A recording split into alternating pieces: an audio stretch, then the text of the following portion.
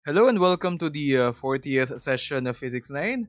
It's the 40th session, no? Napakahaba na talaga ng, ano, ng Physics 9 masyado compared to the uh, other uh, branches of science that we had for grade 9. Nevertheless, uh, I think uh, medyo marami pa to. Okay, nevertheless, ayun, um, I am hoping that uh, with these number of sessions, sana ano, marami ka, ka, ka rin namang natututunan. Ayan. So for the 40th session, uh, we have the following parts. The first one is under observe. It's it is a discussion about uh, Count Rumford's observations. And then it's going to be followed by an activity uh, that is uh, under observe, uh, where you are going to be discovering uh, James Prescott Joule's quantifications.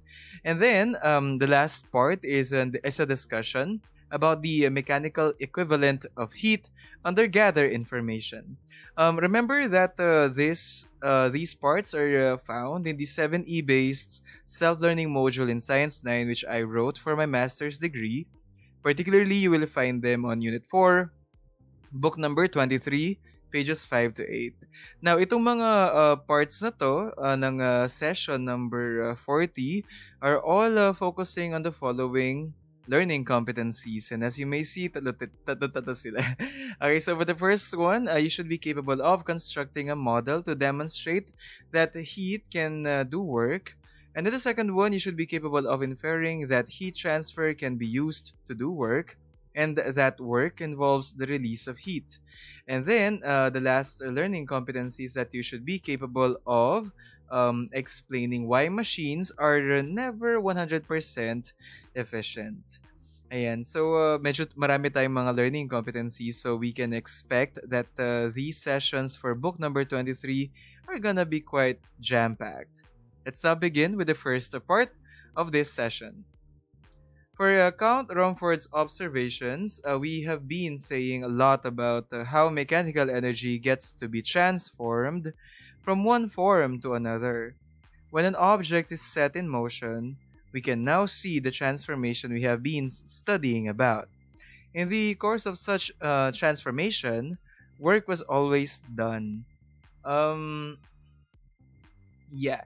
When we say uh, when we talk about mechanical energy, um, we always uh, kumbaga, talk about how energy gets transformed from one form to another. Kumbaga that point has been made so clear, I hope, doon sa mga previous sa mga sessions natin. But uh, what I am not quite sure yet is whether or not uh, it is clear for you that uh, in such transformation, work is always done. Um, when a person uh, lifts a 50 kilogram weight of a, of a height of a height of 0.8 to 1.17 meters, uh, which is uh, something uh, we know is quite related to the uh, previous problem on uh, the bench press. We know that the gravitational potential energy of the weights were transformed into kinetic energy. Kumbaga, yung barbell, meron siyang gravitational potential energy and yung pag-move niya from uh, through this distance, uh, I think if we, if I remember it correctly, it was around 0.37 meters, right? um, that uh, covering that distance and the exertion, of course, of force, that was actually the transformation to kinetic energy, doing work as well. The amount of change in the system's overall energy is referred to as work. Um, these were, uh, kumbaga, quite related to uh, what Count Rumford were capable of observing. In this book, we will discuss how mechanical energy leads to the, to the production of thermal energy kung paano umiinit. Maybe you don't notice it, pero if you are uh, going to the gym, you might um, experience some raising of thermal rising or raising yes of thermal energy ng body mo right when you're doing a lot of uh, kumbaga exercises in your workout. Uh, Count Rumford also uh, discovered something like that but uh, not in working out, but uh, in terms of cannon boring. Anyways, uh, cannon boring is a way to enlarge the hole of cannons because they tend to sometimes with usage, uh, they tend to be blocked by some kind of deposits sa may side. Uh, cannon boring is done by drilling a hole through the cannon's shaft with the aid of horses that are tied around the pole and are made to move around.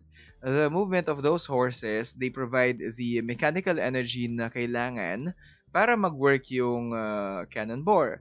Now, Count Rumford observed that his tools, yung mga ginagamit niya for uh, cannon boring, they get to be deformed. Parang hindi sila yata nagme-maintain ng kanilang shape. Parang nagbabago yung shape nila habang ginagamit sila. Now, he charged this observation to be the result of the thermal energy his tools are getting from the friction between his tools and the surface of the cannon.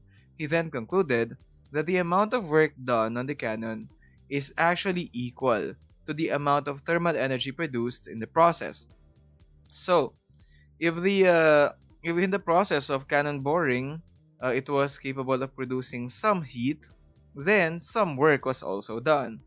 Pero uh, as it progresses, as as it uh, continues, as the cannon boring continues, it gets hotter so therefore, there's also like more work that uh, was done in the system. Now, this principle lays the foundation of transforming mechanical energy to thermal energy. But Count Rumford was not capable of explaining this his observations mathematically, which was in physics very important. Kumbaga, meron naman siyang basic understanding na um, yung mechanical energy input na mayroon ang system which is from the horses nataran natatransform siya into thermal energy. But you know uh, he couldn't uh, explain that mathematically. But yeah it's something that you could do okay?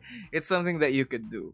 Uh, thanks to the efforts of course of the first uh, scientists now for the second part of this session uh, we will be uh, looking into james prescott joule's quantifications but uh, by looking at it, I mean, it's gonna be quite an activity. Now, uh, get two pieces of paper. I go ahead, get two pieces of paper. Let's fold one piece of paper until it is around one square inch. Mga ganun lang siya, um, kumbaga, yun lang yung area na, kumbaga, na o-occupy niya. Now, rub it on the other piece of paper as fast as you can for about um, 15 seconds. Now, carefully feel the sheet of paper. Are they warm? Okay. The application of mechanical energy on the sheets of paper produced friction that led to the production of thermal energy. It's actually also observable sa mga palms mo. Like, if you're gonna put them together and then rub them for about um, 15 seconds, maybe as fast as you can, you're gonna feel that uh, there is some kind of thermal energy that uh, builds up on your palms. And uh, yeah, you can use that to warm your ears on a, on a chilly day. James Prescott Joule was uh, able to quantify the relationship between mechanical energy and thermal energy through his paddle wheel experiment, which is uh, the one right here.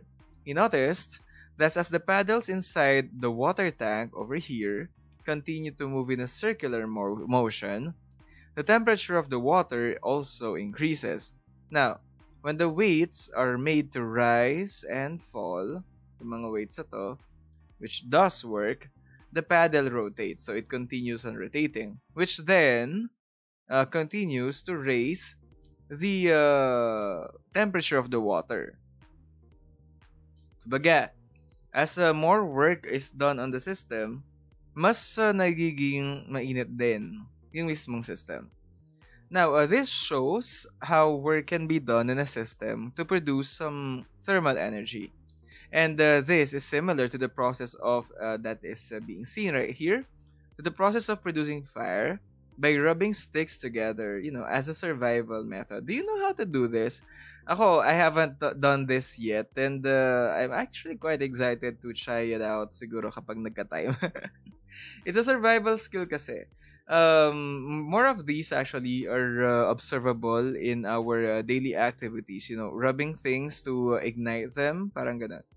But in the next sec- section, we will be tackling how much work is needed to produce how much thermal energy. So, we're actually going to be uh, dealing with numbers again to know how much exactly uh, is the work needed para makapag-produce ng uh, exact na amount din ng thermal energy which is something that is quite useful yung mga accurate na mga processes na to, they're actually quite useful in other applications as we know uh, in physics and in real life.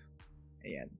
For the meantime, uh, what you need to do uh, for this uh, part of the session is that you need to draw a simplified version of the cannon boring and the paddle wheel experiment setup. Okay. So para siyang ano, para siyang um, mental map ng kung ano yung uh, mga materials dun sa setups at uh, ano yung movements nila and what are their relationship relationships with each other. Siguro uh, you have seen one like that before where you're only going to use arrows, some shapes, and some short um, group of words. Now you'll be drawing your models inside uh, the boxes uh, like the ones from the next slide. So on your sheet of paper, preferably one half crosswise, draw your uh, simplified cannon boring model. You may uh, pause this video because I think you need more time. Are you through? Let us proceed to the uh, next one. Uh, this one for the paddle wheel model. Are you through? Okay, do not forget to show your work to me. Okay, uh, once we get back to school. Ayan. So that is for the second part of uh, this session, which is an activity under uh, Observe. Uh, that's uh, about uh, James Prescott Joule's quantifications. All right, now let's proceed to the last part of this session, which is a discussion under Observe about the mechanical equivalent of heat. James Prescott Joule was able to arrive at the conclusion that thermal energy values have a mechanical equivalent and it can be acquired by dividing the amount of mechanical energy. So we'll be dividing the amount of mechanical energy or the work done in joules by the heat developed in calories. So, uh, in a formula, we can actually see this represented by the following. So the, the mechanical equivalent of heat, which is J, is equal to the amount of, me- of mechanical energy or work, which is W, divided by the heat developed. And uh, that is going to be our formula. So, if we're going to use that uh, in this uh, in in in, uh, in application, if we're gonna apply it in the previous books, we know that for every calorie of heat, we have to remember that uh, there are uh, 4.186 joules work done. Now, the formula above in the previous uh, slide is in the form where it is looking for the value of mechanical heat. So, yung formula to, it's actually looking for mechanical equivalent of heat, yung J. Okay, so uh, since J is always equal naman to 4.1866 joules per calorie, we can derive a formula for work. So we can just uh, do cross multiplication, you know how it works. And then we're gonna get, uh, you know, W is equal to J multiplied by H. Now, in some problems naman, yung value ng amount of heat uh, needed to change, uh, of heat needed to change the temperature of a substance of a body is also required. Now, to solve for H, para makuha natin yung H na yon, we'll just be using the following formula. Okay.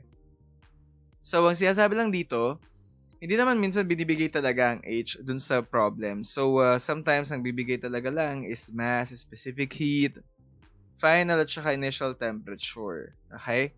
And then that's that's what you're gonna get. If you're gonna I mean uh, get the difference, multiply it by the by the specific heat and then multiply that by the mass, you are going to get H, which is heat uh, that's needed to change the temperature of a substance of a body.